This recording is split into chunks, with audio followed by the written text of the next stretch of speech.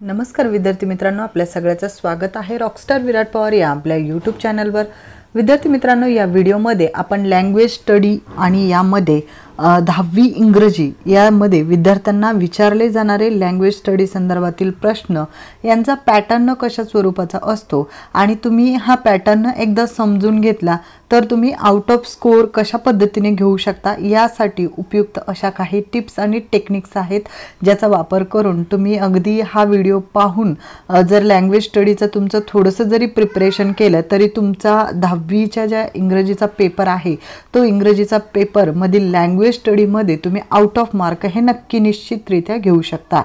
तर विद्यार्थी मित्रांनो लँग्वेज स्टडी संदर्भात माहिती घेताना आपल्याला जो दहावी इंग्रजीचा अभ्यासक्रम आहे यामध्ये कशा स्वरूपाचे प्रश्न येतात याबद्दल आपण अगोदर माहिती घेऊया.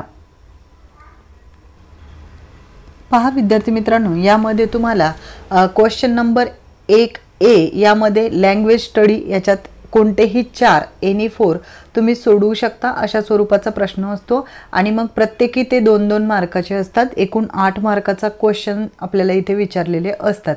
See here are six simple activities based on vocabulary and grammar तर आपल्याला व्होकॅबलरीवर आणि ग्रामर याच्यावर आधारित खूप सोप्या अशा सहा ॲक्टिव्हिटीज दिलेल्या असतात. त्यापैकी कोणत्याही चार आपल्याला करायच्या असतात ज्याचे आपल्याला आठ मार्क मिळतात. आता काही स्टुडंट असे करतात की आठीच्या आठी ॲक्टिव्हिटी करतात. मग टीचर सॉल्व करताना कोणत्याही सहा जर बरोबर असतील तर त्याचे स्कोअर देतात. तर अशा स्वरूपात सुद्धा होतं. त्यानंतर पहा complete the words or spelling by using correct letters मग तुम्हाला यामध्ये काही वर्ड्स दिलेले असतात. जसं की समजा L E dash N E dash तर इथे तुम्हाला एक अर्थपूर्ण असा शब्द भरायचा असतो आणि ऑप्शन्स दिलेले असतात. त्यापैकी तुम्ही मग L E T let N E T net असं म्हणजे त्याला मिनिंगफुल शब्द जर तुम्ही तयार करू शकत असाल तर मात्र तुमचे हमखासरित्या इथे दोन मार्क फिक्स होतात जे की खूप सोपं आहे. त्यानंतर क्वेश्चन नंबर टू पहा. यात put the words in alphabetical order अशा स्वरूपाचा प्रश्न विचारलेला असतो. अल्फाबेटिकल ऑर्डरवर प्रश्न तुम्ही कसा सोडवणार? या संदर्भात डिटेल व्हिडिओ आपण आपल्या चॅनलवर ऑलरेडी दिलेला आहे. तो जर तुम्ही पाहिला नसेल तर कृपया पाहून घ्या. म्हणजे तुम्हाला अल्फाबेटिकल ऑर्डरवरचे आधारित प्रश्न हे इझिली सोडवता येतील. खूप सोपं आहे.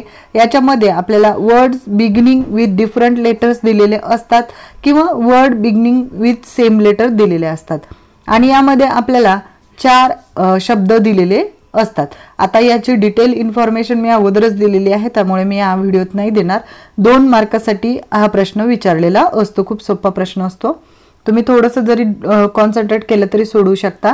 त्यानंतर पंक्च्युएट द फॉलोइंग सेंटेन्स तर याच्यामध्ये तुम्हाला सेंटेन्स दिलेला असतो म्हणजेच वाक्य दिलेलं असतं आणि त्या वाक्याला योग्य विरामचिन्हांच्या साह्याने ते लिहायचं असतं. आणि दोन मार्काचा हा प्रश्न असतो खूप चांगला आणि सोपा असा प्रश्न आहे.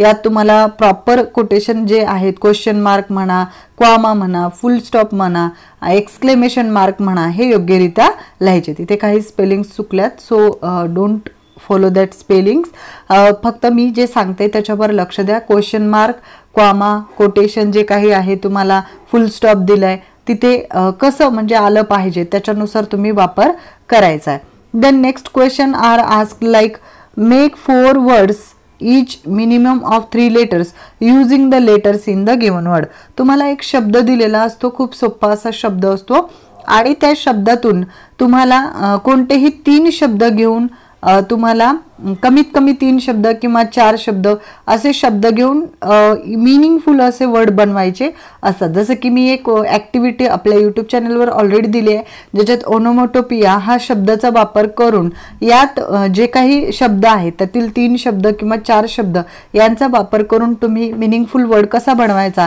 याबद्दल डिटेल असं इन्फॉर्मेशन मी ऑलरेडी व्हिडिओमध्ये दिलेलं आहे. जे की दोन मार्कासाठी तुम्हाला खूप इझी आहे. तुम्ही जस्ट थोडंसं प्रॅक्टिस केलं तरी सॉल्व्ह करू शकता. Question number five is right related words any one अशा स्वरूपाचा प्रश्न असतो. ज्याच्यात तुम्हाला एखादी वर्ड वर्ब वर्ब फॉर्ममध्ये देतात मग त्याचं नाऊन करा म्हणतात किंवा ॲडजेक्टिव्ह करा म्हणतात किंवा ॲडवर्ब करा म्हणतात. तुम्हाला जो काही वर्ड दिला आहे आणि त्याच्या रिलेटेड कोणतं आपल्याला करायला सांगितलं आहे सिनोनिम सांगितलं आहे अँटोनिम सांगितलं आहे किंवा काय सांगितलं आहे त्याच्यानुसार तुम्हाला इथे ॲक्टिव्हिटी करायची आहे. खूप सोपं आहे. त्यानंतर या पुढचा जी ऍक्टिव्हिटी असते किंवा वर्कशीटमध्ये तुम्हाला सोडवायला स्टडी दिलेली असते त्यात complete the word chain of noun verb or adjective for example तुम्हाला एक वर्ड देतात त्याचं चेन बनवायची असते आणि त्याच्यासाठी तुम्हाला ऑप्शन्स पण असतात जे तुम्ही विचार करून अगदी इझिली सॉल्व्ह करू शकता. सोपा आहे थोडंसं प्रॅक्टिस केली की तुमचं हा पण क्वेश्चन इझिली सॉल्व्ह होतो. त्यानंतर डू एज डायरेक्टेडमध्ये तुम्हाला अजून काही प्रश्न विचारलेले असतात जसे की मेक अ मिनिंगफुल सेंटेन्स अशा स्वरूपाचा प्रश्न असतो. मग यामध्ये तुम्हाला एक सेंटेन्स जो आहे तो बनवायचा असतो आणि फ्रेश दिलेला असतो. किंवा सेंटेन्स देतात आणि फ्रेश कोणता तुम्ही यूज करू शकता मग ऑप्शन्स देऊन तुम्हाला त्यातून सिलेक्ट करायचं असतं. जे की फार इझी आहे. तुम्ही फ्रेजेस संदर्भात असलेला आपण व्हिडिओ दिला आहे इडियम्स अँड फ्रेजेस संदर्भात तो पहा. म्हणजे तुम्हाला तिथे ॲक्च्युअलमध्ये कसं आपण युटिलाइज करू शकतो हे लक्षात येईल. खूप इझी आहे हा पण प्रश्न. त्यानंतर पुढचा प्रश्न कसा विचारतात?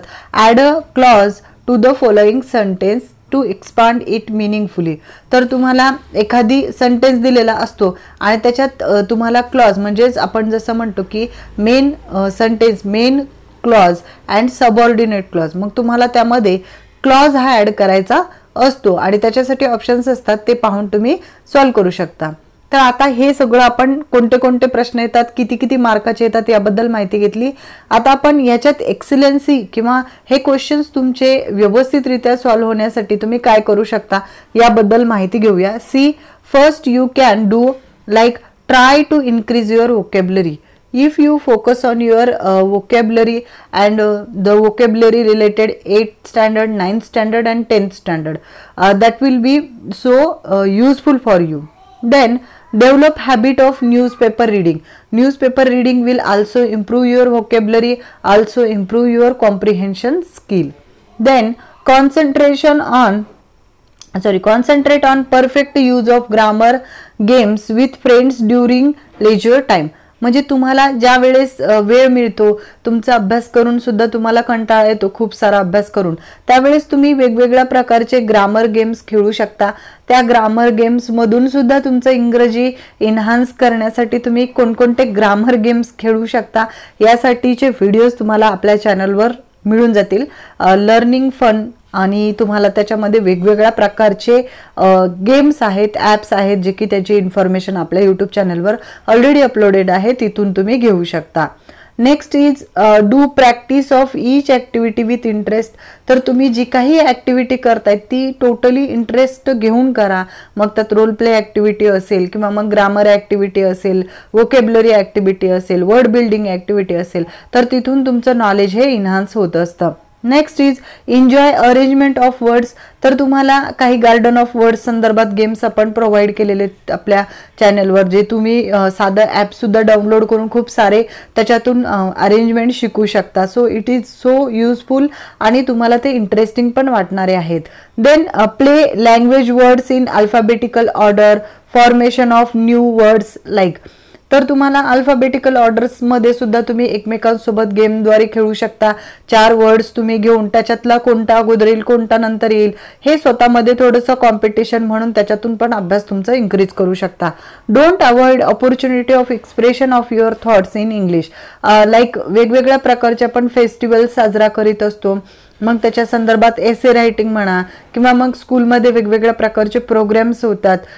Then you can also take participate in that आणि त्यामध्ये सुद्धा तुम्ही तुमचे जे तुमच्या भावना आहेत इच्छा आहे तुमची जी भाषा आहे ती मॅक्झिममली ट्राय करा की तुम्ही इंग्लिशमध्ये तुमचे थॉट्स एक्सप्रेस करावेत. जेणेकरून तुम्हाला इंग्लिश स्पोकनमध्ये सुद्धा तुमचं जे इंग्लिश स्पीकिंग कॅपॅसिटी आहे किंवा इंग्लिश तुमची इन्हान्समेंट आहे ती चांगल्या पद्धतीने होईल आणि मग तुम्हाला ते एक इंटरेस्टिंग अशा स्वरूपात वाटेल. तर अशा प्रकारे तुम्हाला टेन्थ स्टँडर्डकरिता लँग्वेज स्टडी करण्यासाठी उपयुक्त असे टोटल क्वेश्चन्स आणि तुम्ही प्रिपरेशन कसे करू शकता याबद्दल आपण माहिती दिलेली आहे. हा व्हिडिओ तुम्हाला कसा वाटला हे कमेंट बॉक्समध्ये सांगायला आणि आपल्या अधिकाधिक टेन्थ स्टँडर्ड मधल्या विद्यार्थ्यांना हा व्हिडिओ शेअर करायला मात्र विसरू नका. धन्यवाद.